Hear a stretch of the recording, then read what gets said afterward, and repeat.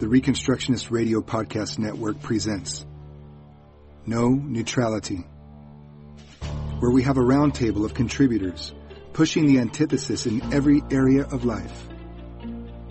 From family to government, apologetics to homeschooling, being a wife and a mother, a husband, a father, single, widow, business owner, or employee.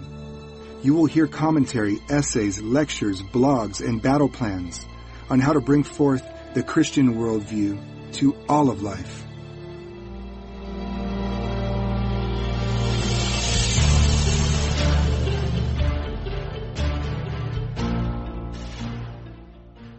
My subject is ecclesiastical megalomania. And uh, I thought I would begin somewhere that may be a surprise, but uh, there's a reason for this. Begin by talking about the Jesus movement because that's where uh, some of my origins are. Uh, and in 1970, I was running a coffeehouse ministry. Uh, we had kids on drugs coming in and so on. We would have rock concerts there, and I would preach at them. And those were the days when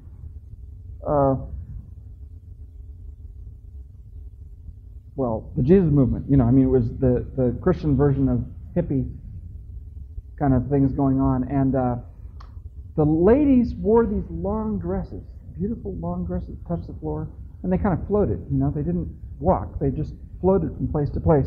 And there was a very popular church in those days called Calvary Chapel in Southern California. And they're, they're all over the world now. They're not a denomination, but they're all over the world. And um, there was a young woman who showed up at Calvary Chapel named Sandy. Uh, lovely blonde. She floated. And, um, and she would come in. She was reputed to be a prophetess. And she would come in and prophesy. And, and then she would sing a little bit, play on guitar, and then she would float back out. And we were all in awe of her. And one evening, very unexpectedly, she showed up at my coffee house, which was some, I don't know, 30 miles away from Cal- Calvary Chapel. She showed up at this coffee house and, uh, and came in, and, and we all made, made way for her. And she came up to the stage and announced that she had some prophecies to lay on us, and she did. And then she sang and exhorted us with a few things and floated back out. We were all very impressed. A real prophetess of God had been in our midst. And uh, we didn't really know what to make of this, but the next night she showed up again. And then after a while, she became a somewhat permanent presence there. You never knew when she was going to show up. It was like the spirit blowing where it listeth, you know, and that's the way she was. Well, one night she came in and, and delivered a prophecy, and then she took me aside. Now, I had never spoken to her directly. I was too much in awe. But we all were. And she was really somebody important. Everybody told us she was important, and all the important people in the Jesus movement uh, gave great deference to her, and so we didn't really know what to say. So nobody ever talked to her. She just came in, made, made prophecies, and went out. So she came up to me and said that she needed to talk to me personally. So she took me aside and informed me that God had told her that she and I were to be married. And uh, to me, this was something like the Virgin Mary telling you she's going to marry you, you know? Uh, Sandy was a lovely girl, you have to understand, but there was not a scintilla of lust in my heart for this woman. Um, I was too much in fear of her, and uh, so I didn't know what to say. Here's this woman I don't even know, and she tells me that we're going to get married, and and so she looked at me expectantly, and so I said, But I don't know you. I don't love you. And she looked at me with infinite prophetic sadness in her eyes, and she said, Oh, David, I'm so disappointed. Surely you know by now that you walk by faith and not by feelings. There was no answer to that one. So we walked back into the coffee house a few minutes later and announced our engagement.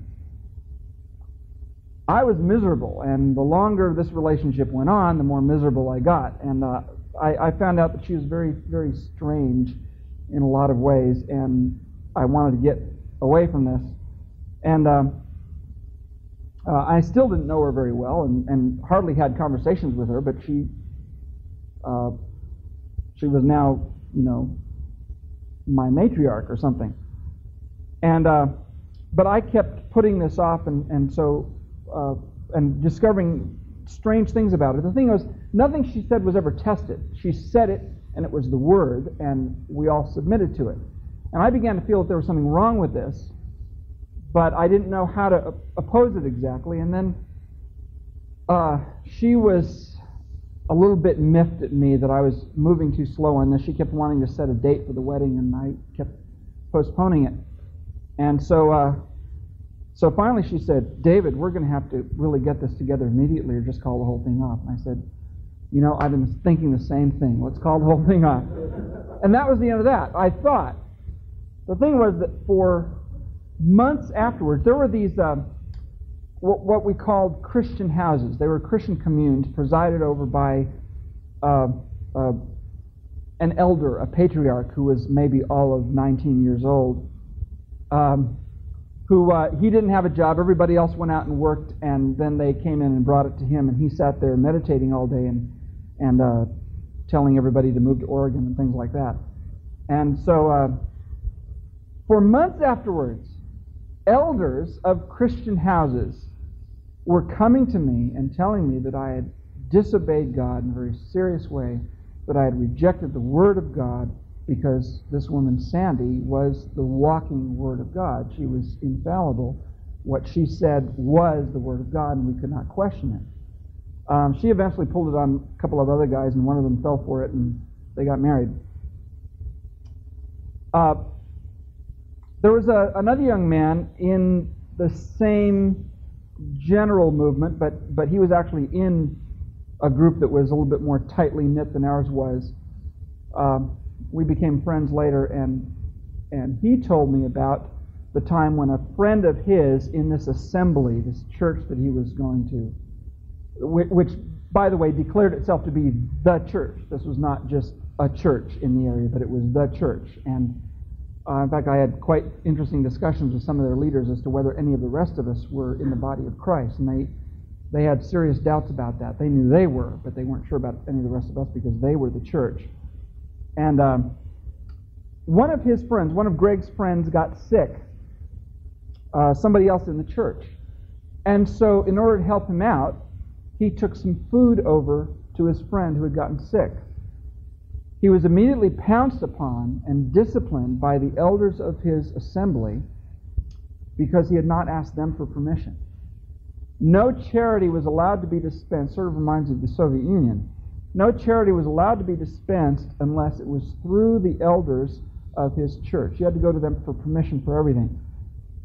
Uh, and this really is the whole issue of uh, what became known in charismatic circles and Jesus people circles as shepherding, the shepherding movement. And uh, one of the prime theologians behind this is Watchman Nee, and you can find these kinds of things in his writings where there's this real heavy top down authority.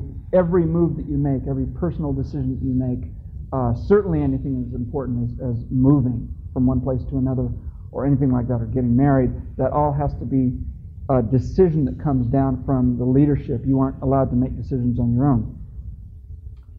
Well, coming into the Reformed faith for me was a great liberty and a release, and in particular, coming into Reconstructionism, where I, as I read through Institutes of Biblical Law, I found to my great delight that one of the most liberating verses in the Bible is 1 John 3, verse 4 Sin is the transgression of the law. That may sound like bondage to some people, but it's not. It's the most liberating verse in the Bible, or just about. Sin is the transgression of the law. That means sin isn't the transgression of anything else. It's only a transgression of the law. If the law says, do this, then you shall do this. If the law says, thou shalt not, then you shall not do that. But apart from that, we aren't to make legislation for one another. And so I thought that coming into Reconstructionism and being surrounded by fellow Reconstructionists, we would all see things that way. Well, it didn't quite turn out that way. I was in a church in Southern California, a pastor of a church, and there was a young man in there uh, who, for lack of a better name, I'll call Craig. Um, and I watched him, his progress with some fascination because I realized that I was watching the birth and development of a heretic, a real one, on, on the level of, say, Roger Williams or something like that. I mean, this was somebody who could really potentially grow up to be a really great heretic, if he, if, at least if, if he had the discipline to stick with it, which he didn't. Um, but he began. He, he was he was a quick study. He he uh, read Rushdoony lickety split. He read Van Til lickety split. No serious weighing of these things, just real fast. Picked up phrases and concepts very quickly, and Reconstructionist phrases became the vehicle that he used in order to impose his personal uh, millennium on the rest of us. Uh, in fact, I, I, got into an argument with one of his supporters at one point because uh, his supporter said to me, Craig is the voice of Reconstruction in our time. And I said, No, he isn't. He's the voice of virtue, which in Otto Scott circles is about the dirtiest name you can call a fellow Reconstructionist. Uh, but it was true. He was the voice of virtue. And he had plans for everybody. He had detailed plans as to what everybody should do with his money. Detailed plans about what to do with your children. And if you didn't do these things, uh, you were in sin. You could be disciplined. Uh, one of his principles was that, that Christian schools were inherently sinful.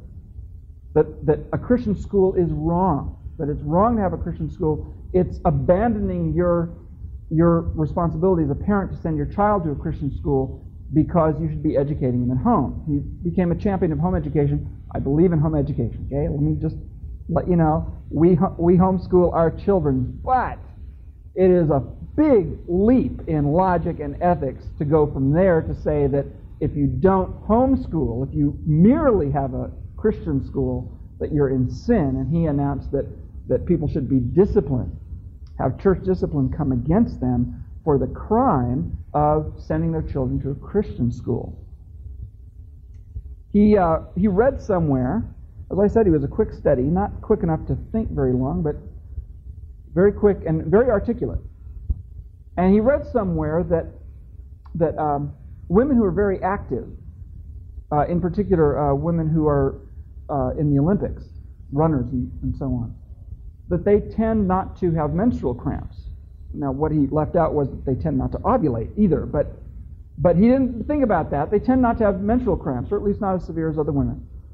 He concluded from that that the true Proverbs 31 woman would not have menstrual cramps. And therefore, if a woman has menstrual cramps, she is thereby demonstrating her laziness, that she's not active enough uh, you know, and, it was really a doctrine of the week with this guy. You know, he would teach he, his view of of we, we got into serious conversations about this that what our job is as reconstructionists as great reconstructionist thinkers You've got to understand he and i are both in our 20s at this point okay great reconstructionist thinkers we are the cutting edge uh, even, he even sent a letter to dr rushdoony informing him that um, that he may be over the hill a little bit, and we are our, little podunk, piddly little church in you know uh, the biggest attraction. We would tell people where our church, where our city was, and they didn't know, and we said near Disneyland. Oh yes, okay.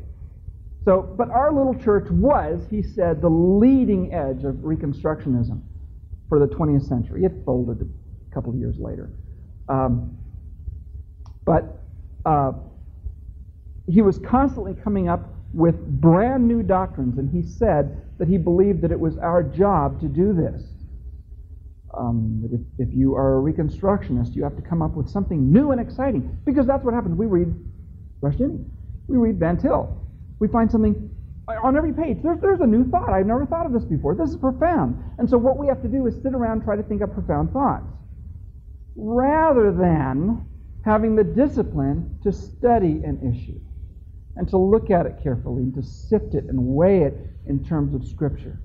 And you can discover that you can actually have a profound thought or two after a great deal of studying and, and self disciplined work through an issue. But he didn't want to do that. Uh, and in order to deal with him, I wasn't sure exactly how to do this. And he had some people in, in the church on his side, and and the, the church was beginning to split. And so we appealed to a Reconstructionist church in Texas. to the elders there to come out and help us with this. And so they came out, and they were a great deal of help. A great deal of help. And one of the things that they emphasized to us was something that they got from Dr. Rushdoony's Institute of Biblical Law, and, uh, and they reminded us of this, and it was very important, and I'd like to read to you from this. This is from the first part of his discussion on the third commandment, the negativism of the law. And he points out that, that one of the things that people complain about, in fact, about biblical law is that, oh, it's so many thou shalt not, thou shalt not, how negative. And Rushdoony points out that this is actually a benefit of biblical law. And he says a negative concept of law confers a double benefit. First, it is practical, in that a negative concept of law deals realistically with a particular evil. It states, Thou shalt not steal, or thou shalt not bear false witness. A negative statement thus deals with a particular evil directly and plainly. It prohibits it, makes it illegal. The law thus has a modest function. The law is limited, and therefore the state is limited. The law is limited, therefore the state is limited. The state, as the enforcing agency, is limited to dealing with evil, not controlling all men. In other words, even when dealing with, with very real problems in society, the biblical reflex is not to set up a regulatory government agency to oversee that area of life. Rather, to deal with the evil as it occurs, but not a regulatory agency. If, if there are problems in some area of the economy, uh, if there's fraud going on, the government should deal with the fraud. The government is not given a, a blank check by the, by the Word of God to simply regulate the economy as, as a whole. Second, and directly related to this first point, a negative concept of law ensures liberty. I'm quoting from again. Except for the prohibited areas, all of man's life is beyond the law, and the law is of necessity indifferent to it. If the commandment says, Thou shalt not steal, it means that the law can only govern theft. It cannot govern or control honestly acquired property. When the law prohibits blasphemy and false witness, it guarantees that all other forms of speech have their liberty. The negativity of the law is the preservation of the positive life and freedom of man. But if the law is positive in its function, and if the health of the people is the highest law, then the state has total jurisdiction to compel the total health of the people. The immediate consequence is a double penalty on the people. First, an omnicompetent state is posited and a totalitarian state results. Everything becomes a part of the state's jurisdiction because everything can potentially contribute to the health or the destruction of the people. Because the law is unlimited, the state is unlimited. It becomes the business of the state not to control evil, but to control all men. Basic to every totalitarian regime is a positive concept of the function of law. This means, second, that no area of liberty can exist for man there is then no area of things indifferent, of actions, concerns, and thoughts which the state, state cannot govern in the name of public health. To credit the state with the ability to minister to the general welfare, to govern for the general and total health of the people, is to assume an omnicompetent state, and to assume an all competent state is to assume an incompetent people. The state then becomes a nursemaid to a citizenry whose basic character is childish and immature. And they reminded us of that powerfully and this really stuck with me. I, I had already underlined it in triplicate when I'd read it the first time, but now I, I really saw in practice how important this was. And again, I was reminded of all, of all the tragedies that had happened in the Jesus movement. Now here we were again, supposedly Reconstructionist people falling into this same trap again. And here was a positive uh, declaration from biblical law about how how God provided for this issue. And so I was very glad about this. This was liberating. And eventually, over the process of time, a few years later, I found myself moving to that same Reconstructionist church in Texas. It's hard for me to know where to begin exactly uh, because there are so many issues, but let me start with, with this one. Rushdoony has argued over the years that it is at least unwise. I'll, I'll be that mild about it. It's at least unwise for a church to run a Christian school. Um, he doesn't like the state running a Christian school, but he doesn't like the church running it either. The, the Christian school should be separate from church and state. And I saw how this worked out in this Reconstructionist church because something I had never thought of in that connection turned up, and that was this where the elders are running a Christian school, School policy of necessity is church policy. That is to say, if you disagree with school policy, you're not simply disagreeing with school policy, you're confronting Mother Church. You're disagreeing with the church.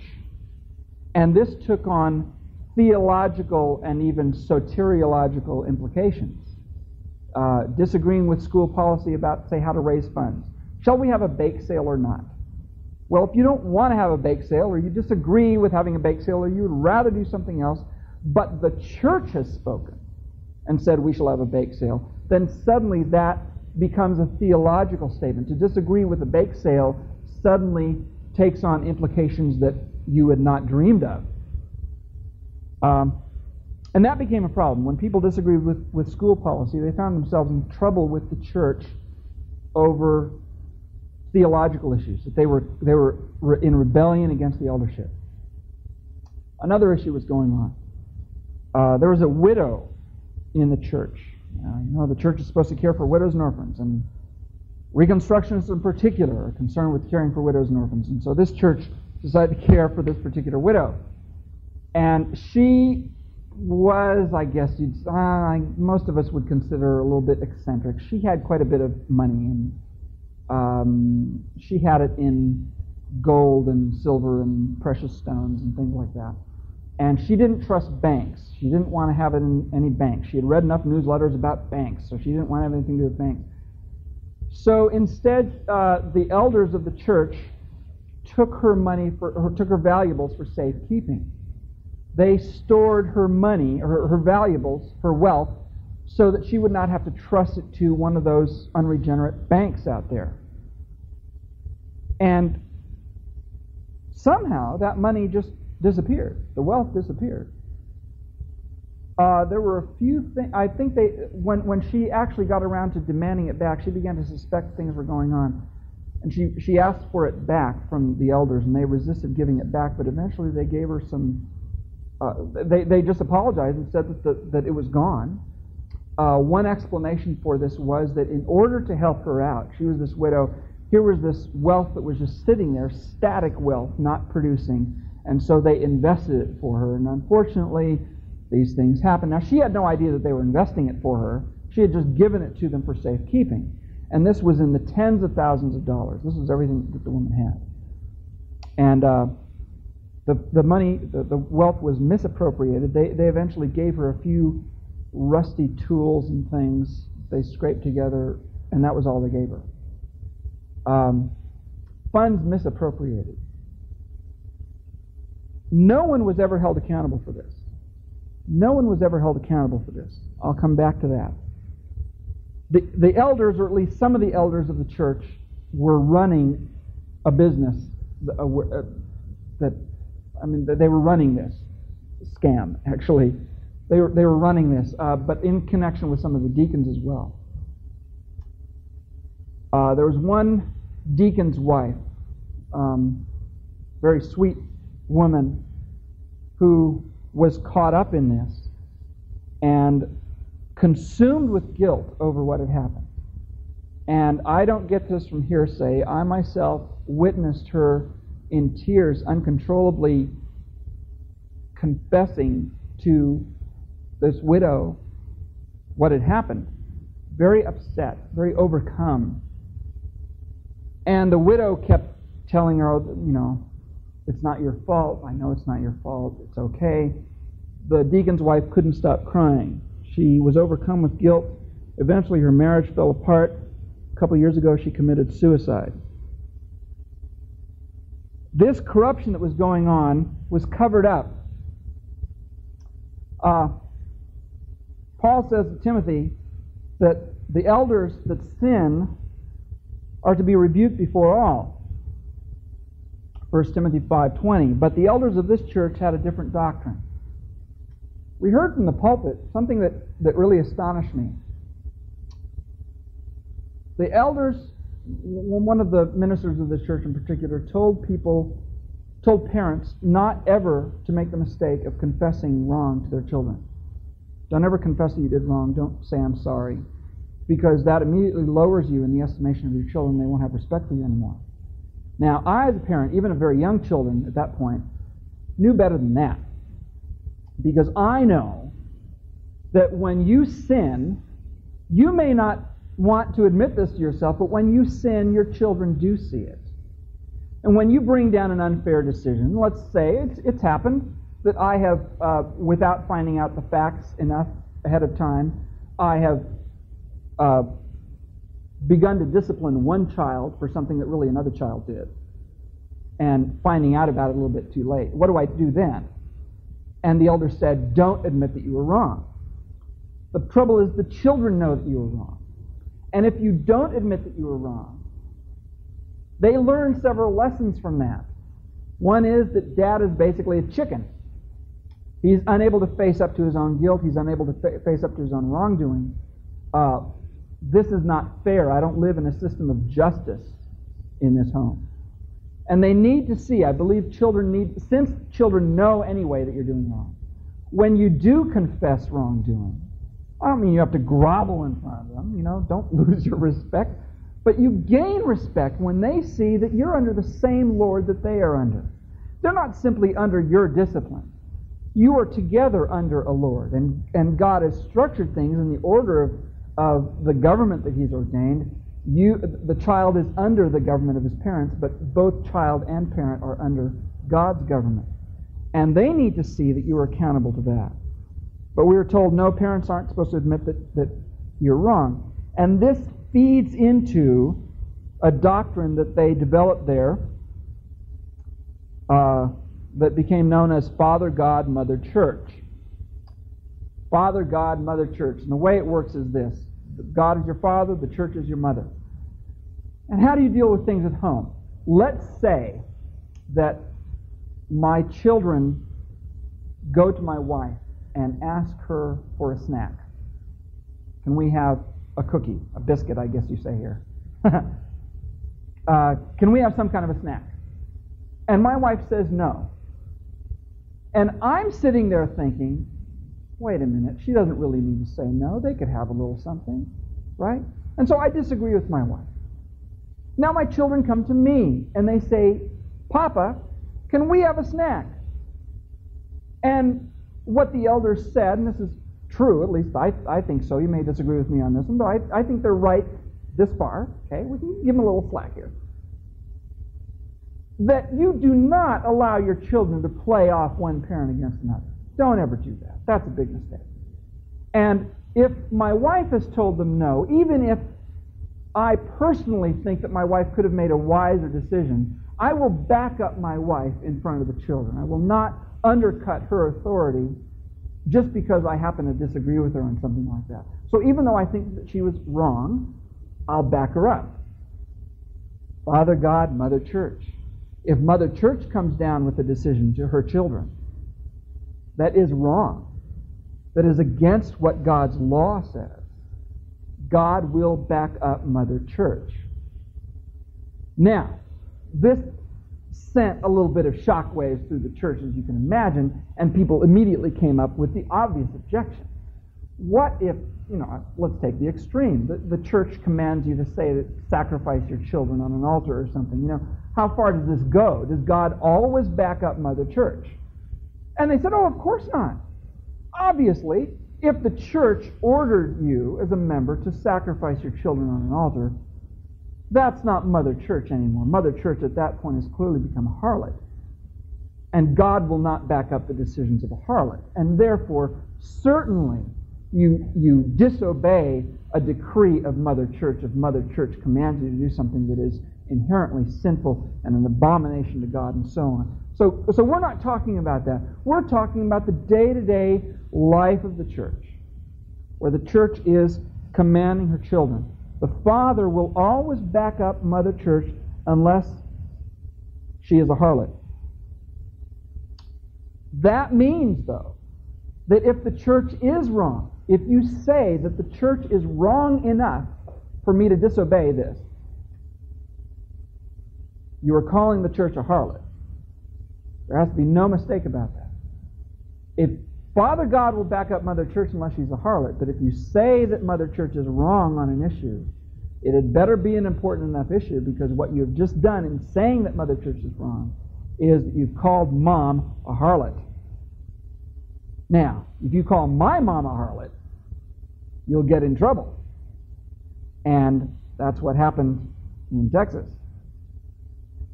Uh, one thing that seemed to get missed in, in some of this is that church members are not simply children of the church. Now, we are. If, if you are a member of a church, if you belong to Jesus Christ, you are a child of the church. You are. But that's a metaphor. And I, I, ought to remind all of us that Jesus Christ himself is spoken of in Scripture as a child of the church. It's the church that gave birth to Jesus Christ. Isaiah talks about this, Isaiah 54. And uh, John talks about this in Revelation 12. Jesus is the, the son of the church. That's a very powerful image in Scripture. But the church doesn't order Jesus around. And that's simply a metaphor. There are other metaphors. And church members are not only children of the church, we are the church. We are the church, and we shouldn't forget that. One of the things that, that was going on with this in, in the church was that we found um, that the elders of this church were very class conscious um, to the point where the pastor, not to the church, let me, let me say that this, this church was not primarily built up from the community. That's, that's how local churches usually are developed. That the gospel takes root in a society and the church is built up from local constituency. But that's not what went on in this church. People moved to come to this church. This was a Reconstructionist haven. And so they moved to come there. People at great cost to themselves. Uh, people gave up good jobs to get lesser paying jobs and so on. And the church had a fair number of rather poor people in the church. And the pastor of that church, to other people outside the church, called, he said that, that one of the problems that he had to deal with in his church was that there's so many white trash in the church. White trash. Uh, I don't know if you have that expression in England. I guess you don't, but uh, we do in America, and it's not particularly complimentary. Um, the sermons became increasingly mystical at this point.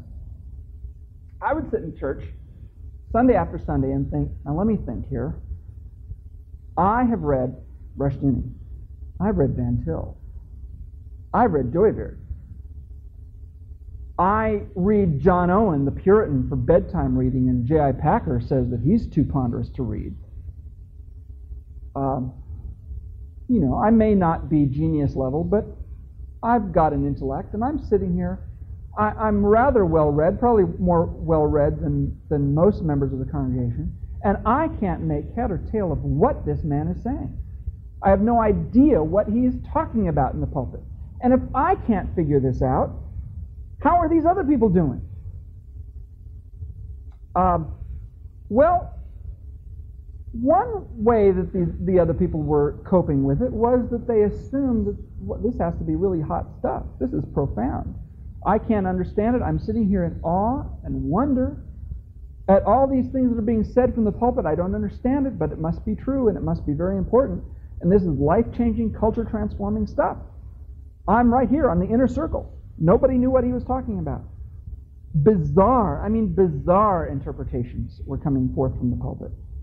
Um, and, and it was an interesting little game that was played with church history um, that, that it sort of cut on both sides. On the one hand, the congregation was given to understand that, that everything that was being said from the pulpit, that here we are at the, the central point of the reconstruction of this country, of indeed the world.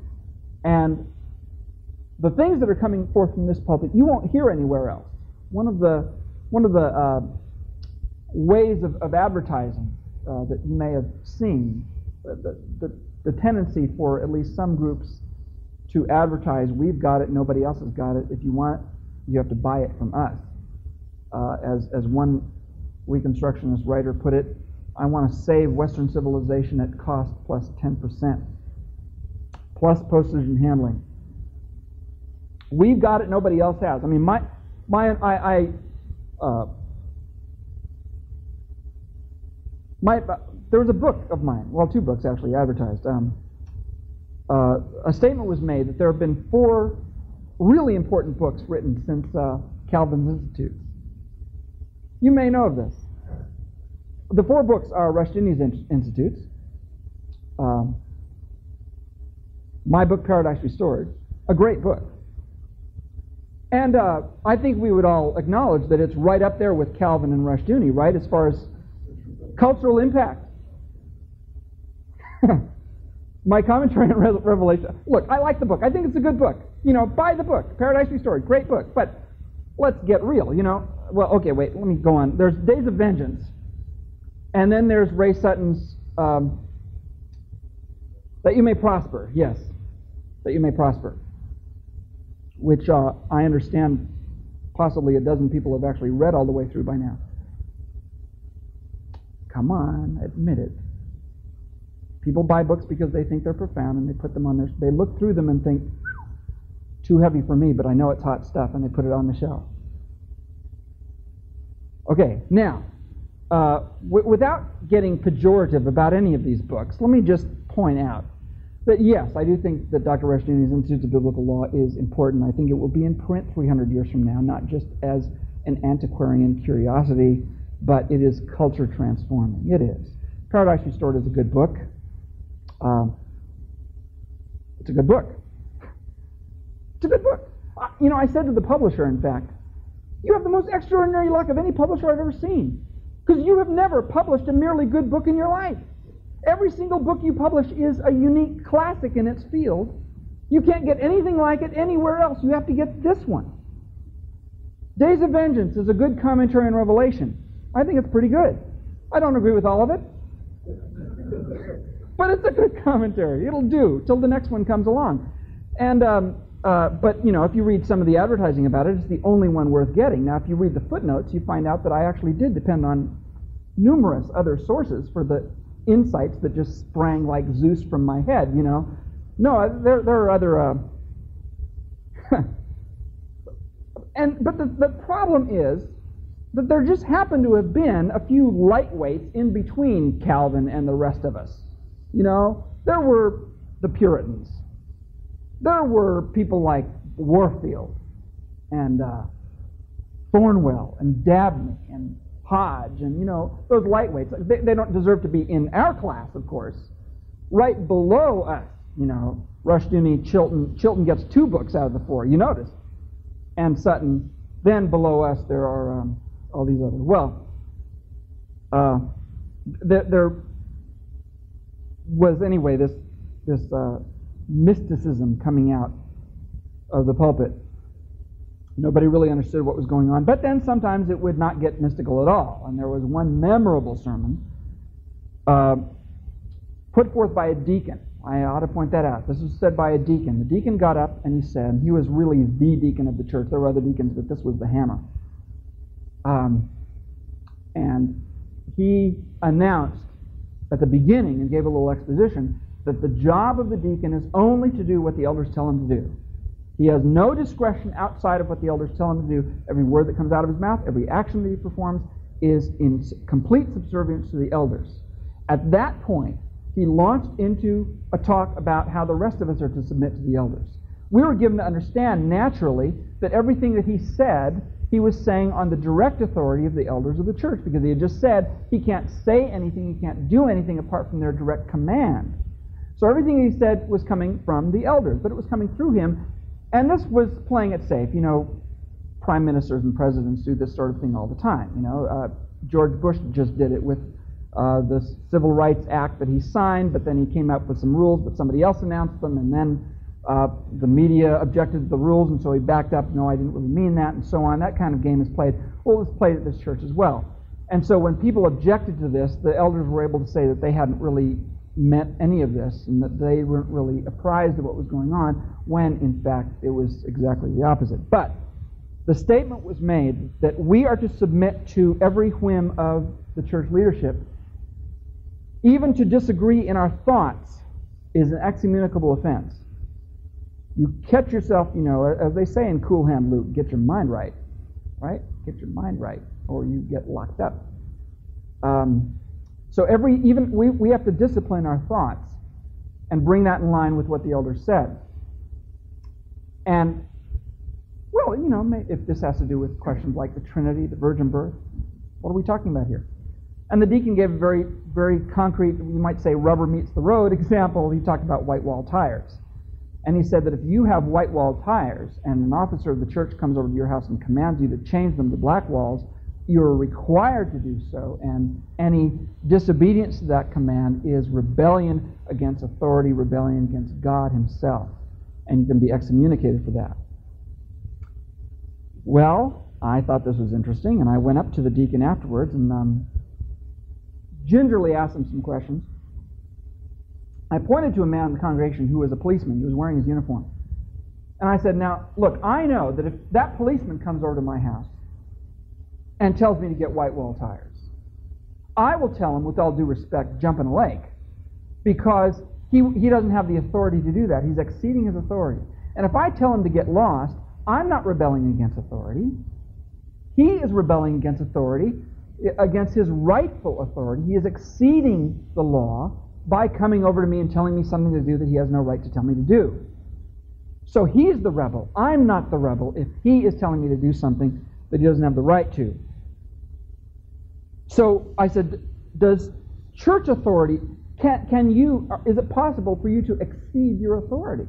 Where, where's the line? Where, I want to know at what point in my home can I draw a line and say, you can't cross that? You cross that line, and we get into a little dust up here. So, what, where's the line? And he, and he didn't answer that. He said, well, I'll tell you, you know, if, if you disagree with the, the decision of the elders, they tell you at white wall tires, and you disagree with that, you're at liberty to go around to other people in the church, find out if they disagree, and if you have enough people who disagree, you can kick out the elder. And I said, Well, I got two problems with that. Uh, number one, gosh, does everything have to be that extreme? Can't we negotiate? Is it a choice of either completely submitting, letting this iron boot step on my face forever, or I overthrow the authority? Can we negotiate here? Can we talk? And he didn't say anything about that, he just smiled. And I said, okay, my second problem with that is that while I'm disagreeing, and while I'm going around the church, canvassing the church to find out who agrees with me and disagrees with the eldership, I am committing innumerable excommunicable offenses. Every time I think a thought against what the elders have said, I can be excommunicated for that. And certainly going around stirring up trouble saying, let's kick these guys out, I can be excommunicated for that, right? And he just smiled again. And I went all cold inside. I did. Um, it, it, it's a funny thing, you know, and I've heard people with some bravado. People later were, were kind of boasting about their attitude about the church, and they said, I would count it an honor and a privilege to be excommunicated from the church like that. Well, I, you know, maybe for you, you know, not in real life, not for me. I was not, I, I really had no desire to put my family through the trauma of an excommunication, even if I was convinced that it was a completely unjust excommunication. I still did not want to go through that. Um, and I would wake up in the middle of the night in a cold sweat, terrified that I was going to be, be excommunicated for what I was thinking. Now, picture this. See, and at that point, there was this real uneasy relationship between me and them. I was not on the staff of the church at all, but I was, after all, David Chilton. And uh, I wasn't the most famous member of the church, but people did come to the church to find David Chilton, and I was one of the, you know, advertising gimmicks of that church. You know? And, and here I am going through these intense, gut wrenching struggles over the issue of whether I'm going to be excommunicated simply because of disagreeing over a subject like white wall tires. But it got worse. Now, uh, there were people who disagreed with school policy. I mentioned school policy before. There was a school policy that was instituted that, that some people disagreed with, and it was a, a, a matter of, it had to do with fundraising. We're going to have our children go out into the neighborhood and collect money, collect uh, donations that you will, uh, uh, our children are going to run so many laps around the church. And will you contribute X amount of dollars or whatever?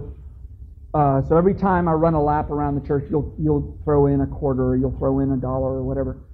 And uh, so they're supposed to go around the neighborhood doing that. Well, there were some people in the church and school who didn't like that. They said, I'll tell you what, you come to me and you ask me if the, if the school needs money, tell me how much you want me to give, and I'll write you a check. But don't ask me to send my children around to the neighborhood collecting donations from heathens to build up this school. I, I don't feel like doing it. Now, they did not start a revolution. They didn't, you know, carry, they didn't picket, they didn't carry banners or anything. They just opted out. They stayed out of it. And so the, they didn't send the children around the neighborhood. And on the appointed day, they did not show up. Now, I was one of the ones who showed up. I didn't like it. I didn't feel comfortable about it. But we went along with it. I threw in some money for my kids and watched them go around the track. I think I maybe even went around the track once or twice. But uh, and uh, uh, so, but but there were people who disagreed. They didn't make a big stink about it. They just disagreed. And uh, the result of that was that they began being brought in and interrogated by, by the elders of the church, and interrogating husbands and wives separately, uh, uh, and uh, refusing to allow these proceedings to be tape recorded and everything. It was actually sometime before this, I had gone out to a bookstore and bought two books that I had read in high school and now was beginning to see the importance of. I bought by George Orwell, Animal Farm in 1984. and, uh, and this really began to hit hard in 1984. Um, by 1985, I was sending out resumes very discreetly and quietly, begging and pleading anybody to accept me anywhere. I was willing to do anything just get me out of here. Um, and there was a real climate of fear. So much so that there was a family in our church who had moved about 20 miles away and uh, and they were um, and our, our church there was very much into liturgy and, and so on. And that, that's not important here. I mean, I'm very much into liturgy too. Okay, uh, I have not abandoned that, but then I actually my, my very first introduction to liturgy was was given to me uh, when uh, Dr. Rushdoony handed me a little book called the Book of Common Worship, which is a Presbyterian version of the Book of Common Prayer, and I began to study those forms of worship that were became really very meaningful to me. Um, but anyway, our church was in the liturgy. These people moved away, and there was an Episcopal church nearby. And they dropped in on that church, and they found that it was a very strong evangelical church, but it was a liturgical church. And they found also that the pastor was really, uh, that all the new books, they decided that they'd like to go there to church. And it was right around the corner from their new home. And so they applied for a transfer and got it. They got it. You can't imagine the shock waves that went through the church at that point. I had people coming up to me, this, this guy who transferred out to another church in the area was a good friend of mine. I was probably his closest friend in the church. And here he was, he had transferred out. And people came up to me saying, I didn't know you could get out. See, at this point, there were something over 60 families in the church, and that one family moved out. And when people discovered that you could move out, people did so. And they started trickling out. And when that began to happen, that original couple was denounced from the pulpit um, in the most extreme terms that they had left the faith, they weren't Christians anymore, and so on, and going to hell. But that began this exodus from the church. And the church dwindled down to a handful of families where it had had over 60 families. Um, now, something I ought to mention as well, lest you think that this is somehow unique. See, uh, one reason why I began by talking about the Jesus movement and the charismatic movement is to point out that this is not only in one particular section of the church. This can happen anywhere. This can happen anywhere. And it, in fact, is the case that, um, I, you know, I'm not mentioning names here, but, but I'll say that uh, perhaps the leading American theonomist, if I can distinguish that from Reconstruction, but the leading, the most important, the most erudite American theonomist was very strongly critical of the church there. And yet, in his church, he routinely excommunicated people for disagreeing with him, excommunicated people for leaving, excommunicated people for transferring to another church in the same denomination. Think about that. You're in a church and you transfer to another church in the same denomination, and the pastor excommunicates you for that.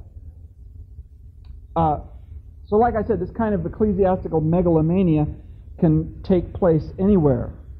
Uh, in, in all fairness to that church, I, I should point out that although, like Rome, it has never apologized publicly for its abuses, um, those abuses don't seem to be going on there anymore, and they've they've gotten into another denomination where there's oversight, and as far as I know, these kinds of abuses are not going on there now.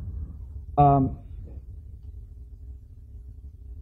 and the, what had been the eldership there, in fact, none of those people are elders there anymore.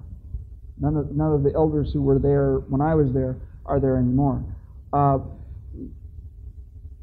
there was a, a, time when my wife and I were having dinner at the house of, of one of the elders, and over the issue of uh, what happened with the widow and some other things, this elder said to us, he talked about this, this one, this other elder who had moved away. Let's call him, call him Elder B. Had, uh, had, uh, he hadn't moved away. He eventually did, but, but he had dropped out of the eldership. Actually, he had taken a leave of absence, and then uh, when when political climates were right, he decided to come back in and he tried to actually take his position again.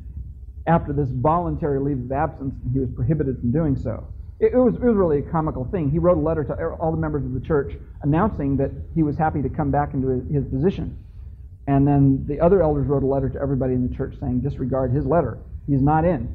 And it was a real circus. But, uh, but one of the elders said to us, that it's really ungrateful of Elder B to be doing what he's doing. Because when he was involved in corruption, we covered up for him. And now look what he's doing to us. Well, anyway, let me talk about some of the reasons for this megalomania and ecclesiastical tyranny. And I think these reasons, to some degree, point to some solutions for this. There is a need for genuine authority in the church. There really is. There are wimpy pastors and elders out there who do not lead, they do not govern, and there is a feeling among people that we need genuine moral authority and leadership. There's all this chaos in the church. Uh, there's a, a well known church near me where uh, in, in the choir there was a well known case that, that went on. Basically, everybody, at least everybody in, on the know in the church, uh, knew about this that one man was committing adultery with another man's wife. Both couples were in the choir. So, Mr. A committing adultery with Mrs. B, her husband, in order to get back at her, committed adultery with Mr. A's wife. And this was going on for some time in the choir, in the congregation. People knew about it. It was undisciplined. That same pastor recently, this, this is really fun. He, uh, he wrote, a, he wrote a, an article. Uh, the Sacramento newspaper, uh, there are two newspapers. One of them carries a religion column. Uh, every Saturday it's in there, and this pastor wrote this wonderful, wonderful article on integrity. Very well written. Uh, made a lot of great points on integrity, the importance of integrity. A week later, the newspaper had a correction box, and they said, We, we regret to inform our readers that one of our readers drew this to our attention that this article on integrity was lifted word for word out of a book by Charles Swindoll on integrity. Anyway, there is a need for genuine authority in the church, and and that's part of what's going on here. People see this lack of authority and this lack of moral leadership, and they say something needs to be done. And that's one of the reasons. I mean, in part, it's a good motive for saying there needs to be authority in the church. And I agree with that. I think there does need to be the right kind of authority in the church. But one of the reasons for this kind of megalomania and, and the tyrannical results is that uh, they ignore the pitfalls as well as the good examples of church history, the historic church. I mean, when you consider that there were members of our church there who, in escaping from this church, fled to the relative freedom of the Roman Catholic Church. Think about this. Or, in fact, I myself saw Jay Adams nearly fall off his chair laughing when a refugee from the church in Texas told him that he had transferred to the Orthodox Presbyterian Church in order to find greater Catholicity. That's not funny here because you don't know the Orthodox Presbyterian Church, but I assure you that practically the last place on earth you will find Catholicity is the Orthodox Presbyterian Church. And yet people transfer to the Orthodox Presbyterian Church in order to move toward greater Catholicity out of this church. But part of it is because it ignores the pitfalls of church history. Uh, we all tend to do this. There were the apostles, and there's us, basically. Well, that's, that's the more charismatic viewpoint. Or there are the apostles and Azusa Street, you know, 20th century. Uh, some of us will say, well, there were the apostles and J. Gresham Machen, or the, the great uh, reformers of you know the 1920s and 30s. Uh, church history reaches back that far. That's about as far back as the Orthodox Presbyterian Church reaches back. And then there are others who, there, well, there were the apostles, and then there's this Dark Ages, and finally there's Luther, or well, not even really Luther, but Cal- well, not even really Calvin, but let's, you know, the, the, Westminster Confession of Faith. Now that's where the church really takes off again. Um, and ignoring what has gone on in church history. Then you see this need for authority. You say, well, let's have apostles again. Let's have overseers. Let's have bishops. But neglecting the wisdom of the church and neglecting seeing what the church has done, what mistakes have gone on in the past, and how were they corrected. Why, why don't we learn from them? And there's very little patience with the subject of church history. There's also a neglect of biblical law. And, and as I said, this liberating statement in the Bible that sin is a transgression of the law. There is an abandonment of the negative law principle. If you hold to biblical law, you must also, of necessity, hold to the principle of negative law. There are metaphors that the Bible uses for the law, and one of them is indeed the path. That we are to travel a straight and narrow path to follow Christ. And that's true.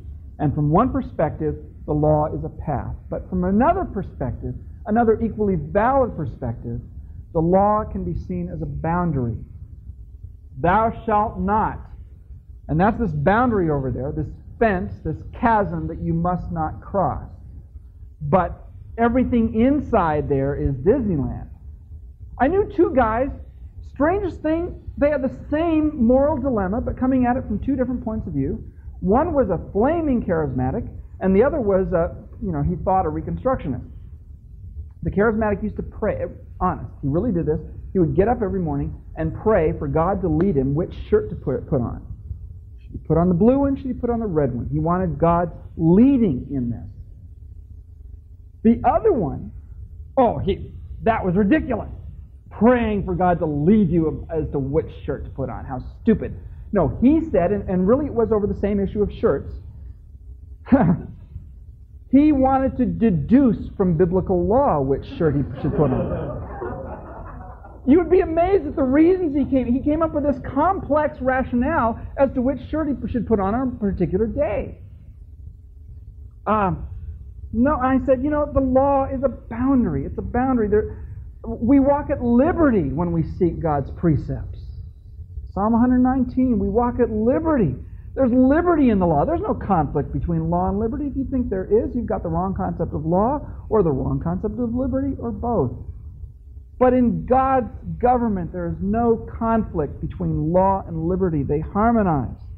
God has called us to law, God has called us to liberty and freedom. God hates legalism. God hates legalism. But legalism has little or nothing to do with biblical law. To the extent that legalism has something to do with biblical law, biblical law is used as a smokescreen for radical injustice. Christ's conflict with the Pharisees was not that the Pharisees were upholding biblical law and Christ was upholding grace. Christ was constantly conflicting with them over biblical law itself. And he, he continually said to them, You are rejecting God's law, God's word, in order to keep your precious tradition. Um, another reason for this, for megalomania in, in the church, is what I think you can call a juridical rather than a pastoral model for elders. A juridical rather than a pastoral model for elders. Now, I want to hasten to say that elders are judges. Elders do form a court of appeals. And, and that's important, too, by the way. Elders form a court of appeals. We, we learned something in, in our experience with Presbyterianism, and we studied the scripture to find out what is the biblical view of a presbytery or a larger court. And we discovered that the Bible knows nothing. This may come as a surprise to you, or maybe not. It, it, was wonderfully enlightening to us. The Bible knows nothing of any kind of sitting presbytery that has nothing better to do than to hand down decisions to local churches that can't fight back. That's not the biblical concept of a presbytery or a synod or whatever you want to call it. The biblical concept of that is that it, it functions, to the extent that it functions juridically, it functions as a, as a court of appeals. It's ad hoc. It's ad hoc. It, you know, let's get together if there's some kind of a problem that, that a local church doesn't know how to deal with and asks for help, asks for help. Let's get the rest of them together, and in a multitude of counselors, there is not infallibility, but there is at least wisdom. Um, so elders are judges, but they're not primarily judges. Now, th- this comes into this whole thing of, of uh, shepherding. It was called shepherding in the charismatic movement. And that's a good word, perfectly good word, perfectly good concept if you've got the biblical one. Because the word pastor really means shepherd. That's what the word is. Pastor means shepherd. And if, if it helps, think of pastor related to pasture, okay? The pastor takes the flock into the pasture. Um, a pastor is a shepherd. What pastor means. But, for one thing, pastors, shepherds of congregations, are under shepherds. We are under the chief shepherd. As with the parent and the child, both of them are under God's government. Same thing is true of the church. The pastor and his flock are both under the government of Jesus Christ. There is no absolute shepherding outside of Christ. Secondly, this matter of shepherding or pastoring is just a metaphor. It's just a metaphor, one of many that, that God has given to the church. The, the metaphor that, that God has not given simply one metaphor for the church. There are many metaphors. One of them is the head and the body. And now we're not talking about pastors. Christ is the head, and we are the body. And the body has many members, the body has many gifts. And in fact, it is the weakest members of the body that should be most protected. Ask a football player. It's the weakest members of the body that are most protected. Um, why, did, why did God construct your body so that your liver and heart and kidneys are on the inside? Why couldn't they be dangling out on the outside for us all to see? Well, one reason, apart from aesthetics, is they're inside the body, tucked away so that they won't get hurt so they won't get hurt. You can bruise your knee or your elbow or something. It's not as serious as bruising your heart or your kidneys. And so they're inside the body. And there should be a concern in the church when you look at someone who is a particularly weak member, a particularly frail member of the church. Your response to that is not, let's call him before the session and interrogate him and show him where he's wrong. Rather, take care of him. That is the pastoral role. It's a, the body is one with gifts, and there's to be care for the weaker members. And in fact, the Bible does have a job description for shepherds, and I, I encourage you all to get into the biblical shepherding movement. There should be a shepherding movement. I wish there would be one in, in the church today. And uh, in fact, I wrote a letter, my last communique, to uh, one of the elders of this church was simply I read to, I, I typed out Ezekiel 34 and let me read to you part of Ezekiel 34. The word of the Lord came to me, saying, Son of man, prophesy against the shepherds of Israel. Prophesy and say to them, Thus says the Lord God to the shepherds Woe to the shepherds of Israel who feed themselves. Should not the shepherds feed the flock? You eat the fat and clothe yourselves with the wool. You slaughter the fatlings, but you do not feed the flock. The weak you have not strengthened, nor have you healed those who were sick. Oh, I got to mention that. There's a wonderful doctrine of healing in this church. We believed in healing, anointing for healing. It was great. Um, and, and I believe in that. We, when somebody's sick in our church, we have we we make house calls for one thing. But on some occasions, we actually have the person come up voluntarily, come up in front of the church, and we pray for them, lay hands on them, anoint them with oil, pray for them to be healed. There's nothing magical about it. Uh, some people are not healed. Some people are. Sometimes it's been very dramatic, sometimes not. But we pray and ask God to heal them. That's all we can do. We're commanded as elders to do that. In this church, there was a real interesting doctrine that Paul prayed three times for God to take away his thorn in the flesh, and God didn't take it away. And so from that, they deduced that you can only pr- pray three times for God to take something away. You can only have the elders pray three times. And, and if it doesn't happen after those three times, you can never come up again. Um, there's an interesting, thinking economically, somebody should have realized this. If you're granted three wishes, you will ponder forever over what that first wish will be. You really will. You won't immediately wish for a million dollars because later you'll think, I could add two million. a billion. What am I, you know, confining myself for here? Um, I wish I had more wishes. uh, you can do all kinds of things. So just hold off a minute. And, uh, and so the result of this was that people, there, there was a man there with, with a very serious illness that he really needed prayer for and wanted prayer for. He never came forward. He was always afraid to use up any of his wishes, so he never came forward. And there was a, there was a doctrine in that church that we will not come to you. We will not seek you out. If I see that you're sick, I will not call you up and say, Let me come over and pray for you, brother, to be healed. No, no, no. You have to request it. Now, there's some logic in that. We do find that in most cases, not all, but in most cases where Jesus healed somebody, the person asked for it. And I think there is something psychologically important in asking for prayer. But there's nothing ironclad about it, and certainly a shepherd of a flock can tend to the wounded and the weak in his congregation. Let me go on.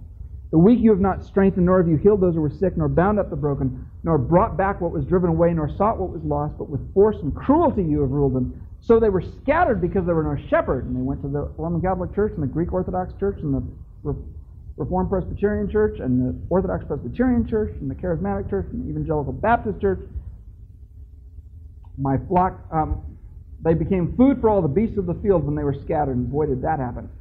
My sheep wandered through all the mountains and on every high hill. Yes, my flock was scattered over the whole face of the earth, and no one was seeking or searching for them. Therefore, you shepherds, hear the word of the Lord. As I live, says the Lord God, surely because my flock became a prey, and my flock became food for every beast of the field, because there was no shepherd, nor did my shepherds search for my flock, but the shepherds fed themselves and did not feed my flock. Therefore, O shepherds, hear the word of the Lord. Thus says the Lord God, Behold, I am against the shepherds, and I will require my flock at their hand.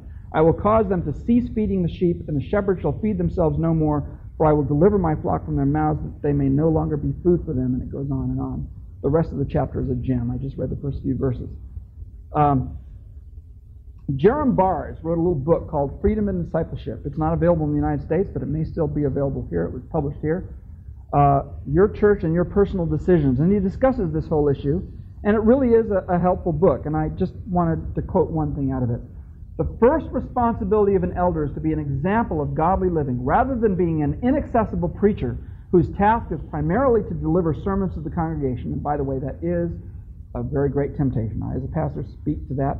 That speaks to me. I would much rather simply deliver the words of authority and wisdom and then retreat back to my study than actually have to deal with people. But that's the job of a pastor. So rather than being an inaccessible preacher whose task is primarily to deliver sermons to the congregation, all elders are called to practice hospitality and to be servants of the flock in a practical way. We were delighted to share with you not only the gospel of God, but our lives as well, 1 Thessalonians 2 8. The overseer must be above reproach, 1 Timothy 3 2, not lording it over those entrusted to you, 1 Peter 5 3. Jesus remained a servant, washing feet until the end of his earthly ministry. No leader ever moves beyond being called to be a servant of the flock. Uh, a, a final reason, I think, for this kind of megalomania and tyranny is a practical distrust of the Holy Spirit's sanctifying work in the body. Jesus promised in his long discourse just before he went to the cross, in John, he promised over and over again the Holy Spirit's presence in the church. This is not something fitful or sporadic. This is an enduring presence. In fact, the whole Trinity takes up residence in the church. My Father and I will come to you, he said, through the Holy Spirit. Jesus talks about the work of the Holy Spirit in the world, the Spirit will convict the world of sin and righteousness and judgment. Let's not ever make the mistake of thinking that the Spirit just sort of floats around the world convicting people willy nilly. He doesn't do it that way. The whole point of that discourse is that the Holy Spirit does not do that by himself as such. The Holy Spirit is given to the church. And the Holy Spirit has a renewing and sanctifying work in the church and among the members of the body. And when we see somebody getting into a little bit of trouble, we can give them advice, we can give them, give them encouragement, we can trust in the work of the Holy Spirit in that person. We don't immediately have to bring authority crashing down on his head over some problem that he gets into. We can give people space, back off, realize that nobody is ever static. Nobody ever stays the same. Nobody ever stays the same. They may look stuck for a little while, but they are not stuck. They move. They move through time. They move through history. And they change. And they either move toward Christ or away from Him. And you can give people a chance. And if somebody really is an ungodly, wicked rebel against God, that will show up in his life. You don't have to pounce on him right away. And on the other hand, you can trust in the work of the Holy Spirit in the body of Christ to renew and give life to the body.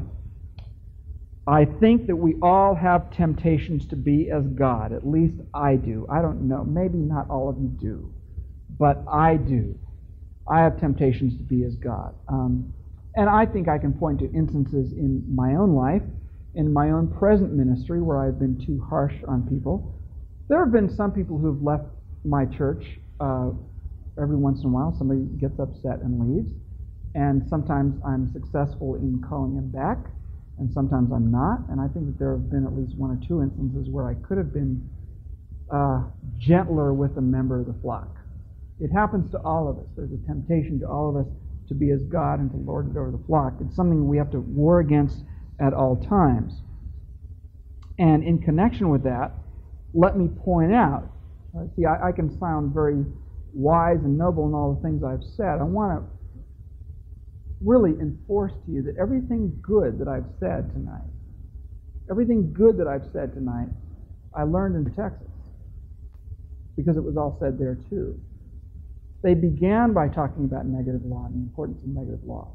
And after a time, one of the elders said to me, Oh, we don't believe in that concept anymore. But that's where they began. And this can happen to any of us. Um, uh, I, I, don't mean that it's going to suddenly spring, spring up in the middle of the night and bite you on the neck. I mean that there are tendencies, and we have to guard ourselves against those tendencies. Well, anyway, I'm done, and we can have a little bit of questions. uh, sorry, I should have given more time for that, but I wanted to make sure I made myself clear. Yeah.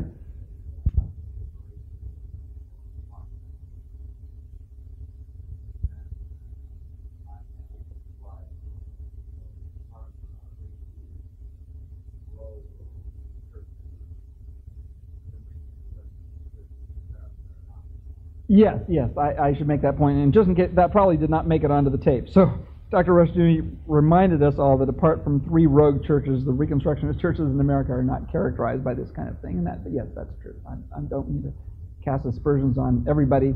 Um, uh, so, but but on the other hand, I didn't simply want this to be just sort of juicy gossip on some particular group. I, you know, the principles here are important, not just for us to sit around and listen to what somebody else did, but but but to, to point out that this is a danger. It has occurred at various points throughout church history. There have been sects and groups that have gotten into this sort of thing, and they fade away and, and are not particularly important anymore except as footnotes. Are there any questions? Yeah.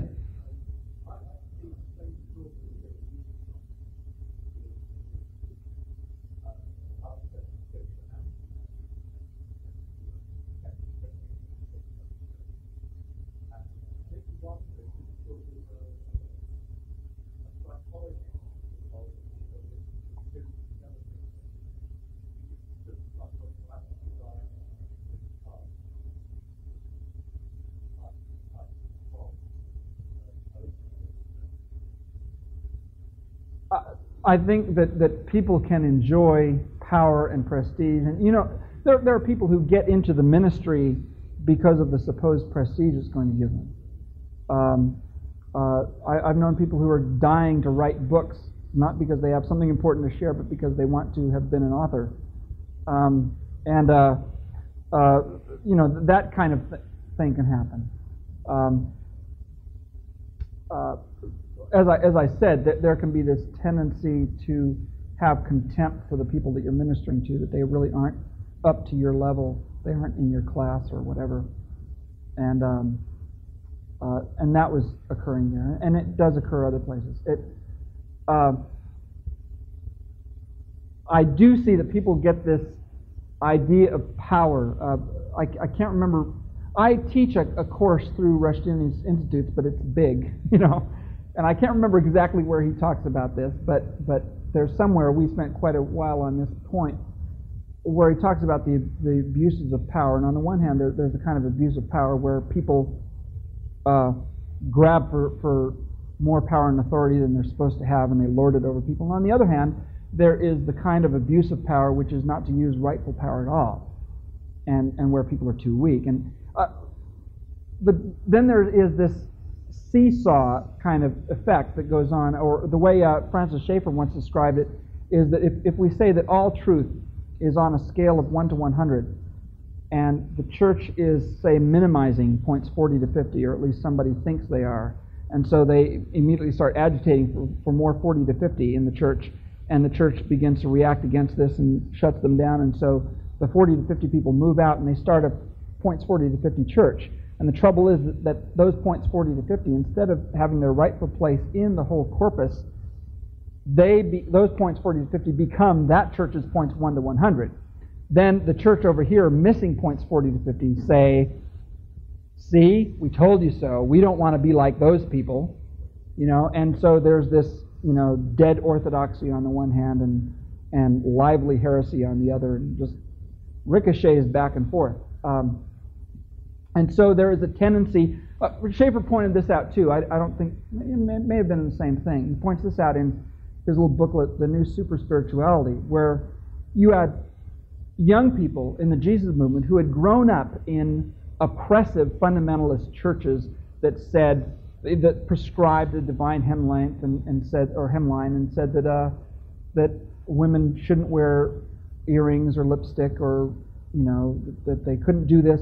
If Christianity was this big bunch of do's and don'ts that really didn't come from the Bible. It just was cultural, and you can't watch television or whatever. And so they rebelled against that.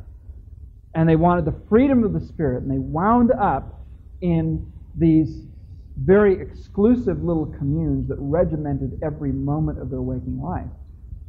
Um, and so they run from one kind of tyranny into the arms of another and and we have to be on guard not only against um, statist kind of tyranny, but ecclesiastical tyranny as well. It happens. Yeah.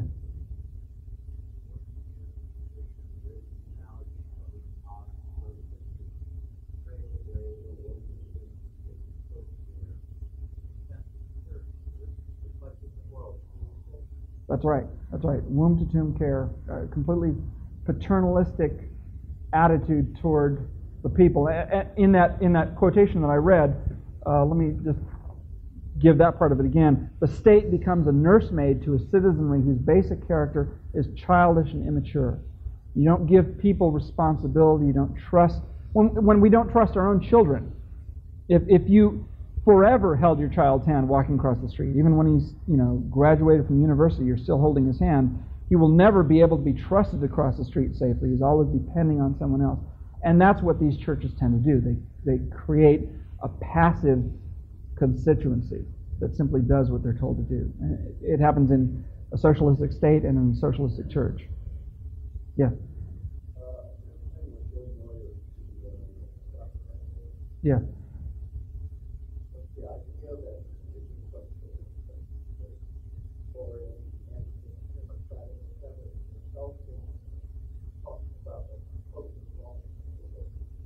Uh, there, there was this fear about that. Actually, it, it, was interesting in the way it turned out because uh, Dr. Rushdoony was very open with with that that news team, and so was I. Uh, the producers there, they came and stayed at our home for a few days, and whoops, and we all got along real well. I, I gave them names, addresses, and phone numbers of people who disagree with us, and said, "You need to call them and find out what they're saying. Go ahead." I was completely free and open with them. And so they had come expecting a real fortress mentality. Instead, they get this openness and freedom, and we're handing them literature. Please find out about what we're saying.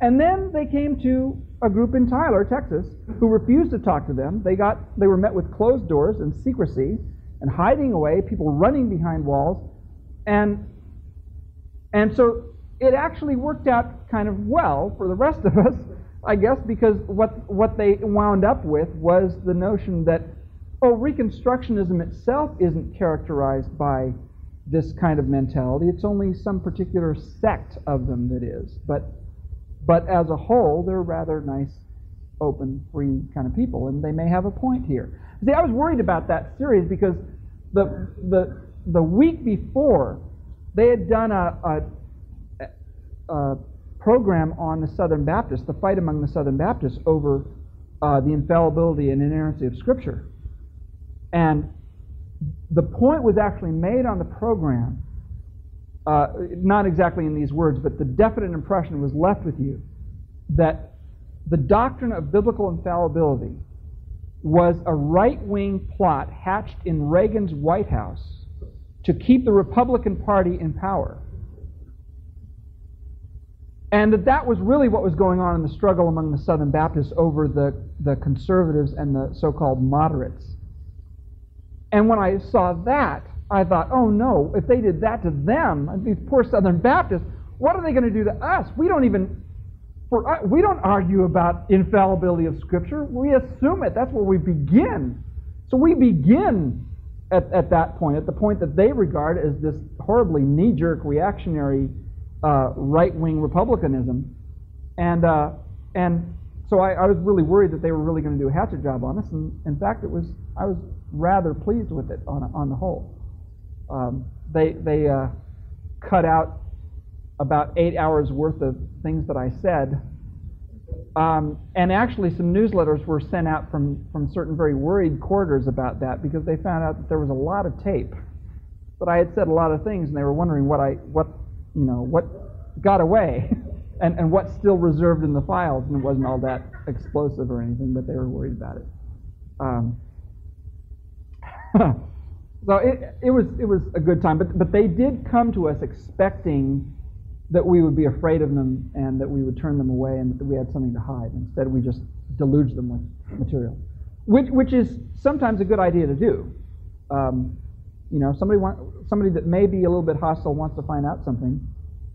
Give them everything you've got. They can never have the time to read it all. just give them everything. And, uh, and after all, uh, this is, if it's Christianity, right? If it's Christianity, this is about the gospel. This is about, uh, you know, Paul says we don't have anything to hide. These aren't things that are said in secret. This is open before everybody. Um, we are sharing the wisdom of God with the whole world. This is something we invite the whole world to come. We expect the whole world to come into the kingdom. And so we don't have any reason to hide what we're saying. Um, there's no secret hidden doctrine. There's no secret agenda somewhere. We're just proclaiming the truth of God's word. And if, if you come at it from that viewpoint, uh, they still may not like what you're saying, which at points Moyers clearly didn't like. But uh, but but suddenly it was there was no more worry about you know uh, we're sort of Christian ayatollahs or something like that but uh, and I, I, should say too that the reputation of what had happened at this church did get around the country, and that was one reason why why people on the outside thought that that's the way everybody was was because of these kind of things happening. Yes.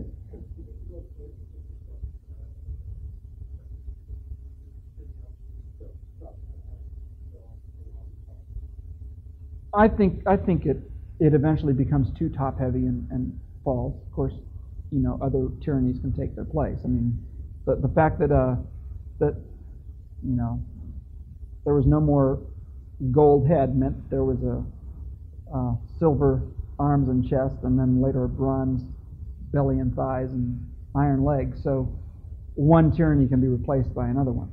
Um, but all tyrannies are overcome ultimately by the kingdom of Christ. And in particular, in church, the Holy Spirit doesn't leave the church. The Holy Spirit has to wrestle with us quite a bit and um, has to beat some of us up. But the Holy Spirit does not leave the church. He works with the church, and He eventually overcomes us and subdues us to Christ.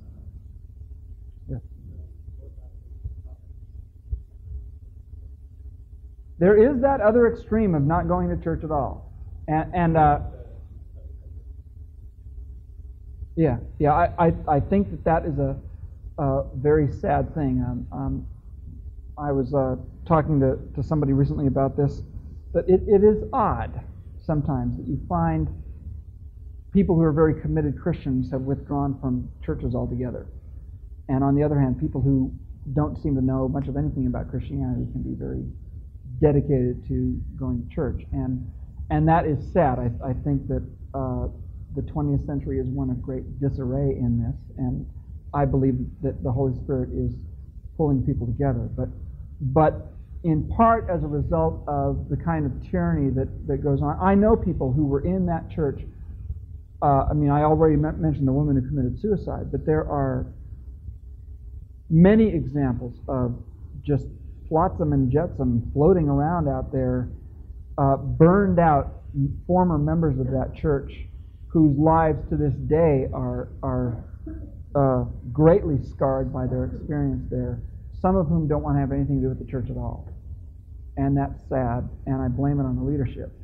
Uh, obviously, the people themselves have a certain responsibility for that, but God Himself in, in Ezekiel 34 blames the shepherds when the sheep wander. And, and we do have many wandering sheep.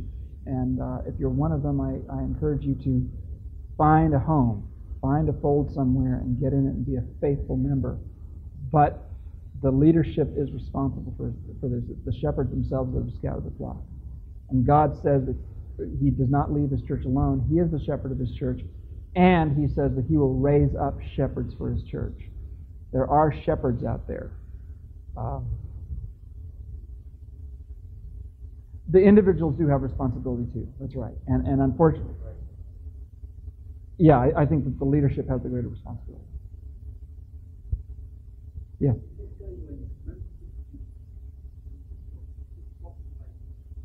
For church membership, faith in Christ. That's all. Um, oh, well, yeah. Uh, I thought you meant for admission to membership. Uh, yeah, I, I, do believe that, that attendance. Yeah, yeah. There, there should be uh, commitments in in um, in your attendance to the church, in your giving to the church, and so on. Um, and we, we talk about that. When people come to our church and, and apply for membership, we talk about the commitment that this means, that they're this is not just some place to come, that they are um, expected to be there in the Lord's house, particularly on the Lord's day. Uh, we have Bible studies and other things that meet during the week, but they're, they're not um, on the level of worship on the Lord's Day. We do believe that, that worship on the Lord's Day is important um, we don't have a Sabbatarian attitude about it, but, um, but we do believe that it's important to be there. And, and we let them know that that is their responsibility, uh, unless providentially they're hindered by some other reason. Um, there are people who, at various times, want us to sort of certify their membership. They want to be members of our church, but they don't want to attend. Um, and sometimes this is because they live, they live some distance what, what we don't like about that is we encourage people to join a church where you are and give up looking for a perfect church. And, and if you're looking for that, please do not come to ours. Um, we encourage people to stay away if, we, if there's any hint that there's. We really do. I've told many people not to come. Don't come to our church. Um, but that you join a church where you are, and it may not be everything that you want it to be. Uh, but join the church anyway and work in it and, and do your best. And if, if there is just no suitable church anywhere, do your best to move. But, but it doesn't seem to me that the New Testament knows anything of a Christian who's not a member of a church. And I don't mean that simply in an institutional sense. I think that in the institutional sense, yes, but it's really much more than that. I'm talking about being part of the life of the church, um, being a real active member, sharing your gifts. When people uh, come into our church, we were just talking about this, that we need to make this more clear that um, to ask people, what is your gift? Find out, what, what are you doing in this church? Why are you here? God has you here for a reason, and we expect you to be a real contributing member, not simply in money, but in the gifts that God has given. Yes?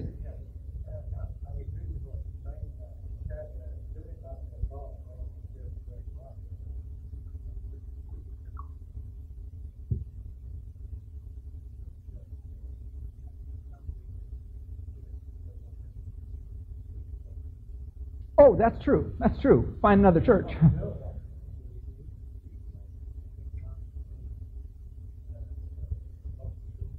yeah. Although it, it might do some, yeah, it might do some good if you gently rock the boat a little bit.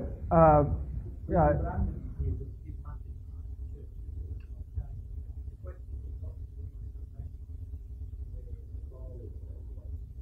I think in a lot of cases, not all cases, but in a lot of cases, you can have a positive effect in the church without being branded as a schismatic. I, I think it is possible to do that. And I have, I've seen, not all cases, okay, so I don't mean to brand everybody with this, but I have seen people who have said, oh, that church kicked me out because of my stand for the truth. Well, it, sometimes it's how you're standing for truth. You know, standing up in the middle of the church service and calling the pastor heretic is probably not the way to do it. But I've seen people do that. And there was a man who came to our church who was full of all these stories about all these tragedies that hap- had happened to him in another church because he was standing for the truth. He was just a troublemaker. He was using certain truths as a smokescreen for what he wanted to do, for his own um, megalomania that he was developing. Um, and I think that, that if you are serving people, you're serving, if you're dedicated to um, caring for one another. I, I remember one, one time uh, uh, when uh, Dr. Rushdoony spoke at a church, and they were very uh, active in in doing things, giving money to causes elsewhere, you know. And so Dr. Rushdoony said, what you need to do is not simply, you know, give money to somebody far away, but look at the needs in your own congregation.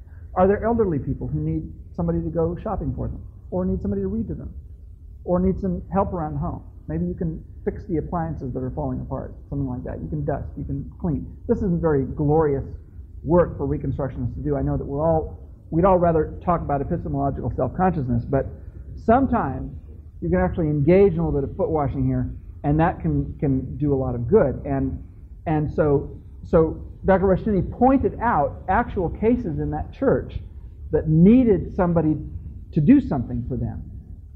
And this caused a great deal of excitement among this congregation. They said, let's form a committee to study the problem. And his point to them was, no, you don't form a committee. Just do it. Just do it. Jesus didn't say in Matthew 25 that the committee that gives to those who are hungry, that feeds the hungry, the committee that feeds the naked, that, that clothes the naked, and so on. The committee that goes and visits people who need visiting. He didn't talk about that. He said, "You, you do it. God holds us responsible to do those kind of things." And Jesus said, "The Son of Man as the example to everyone else. The Son of Man. I mean, this is in, in the context of the disciples." Thinking about the Son of Man ascending to power and glory and dominion and the kingdom over all peoples, nations, tongues, everyone on earth. Daniel 7, 13, 14, they were real excited. Here they were on the ground floor of this administration that was going to take over the whole world. And so they were, they were arguing among themselves as to who got to sit where. What is the seating arrangement at the victory banquet? And Jesus said, The Son of Man, don't be like the Gentiles who like to lord it over others. The Son of Man himself came not to, minister, not to be ministered unto, but to minister unto others and to give his life a ransom for many. And that is the pattern for our behavior as well. Jesus pointed to acts of service in our part. And I, I think in many cases, certainly not all, but in many cases, if you get into a local church, I don't mean, you know, first apostate church, I mean a church regardless of its problems, you get into a local church and begin to serve, you'll make a difference in that church. Find a good church to do that in. But yes.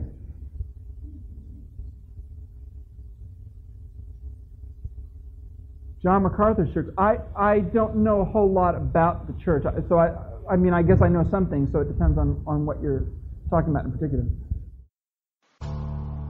Thank you for listening to this episode of No Neutrality on the Reconstructionist Radio Podcast Network. Don't forget to visit ReconstructionistRadio.com to download your favorite audiobooks and podcasts. And if you are a Christian Reconstructionist blogger and you'd like to contribute your blogs into this audio blog format, click on the volunteer link on our website, send us an email, and let us know you'd like to join the team. May Christ be glorified and his kingdom extended from sea to sea, and from the rivers to the ends of the earth.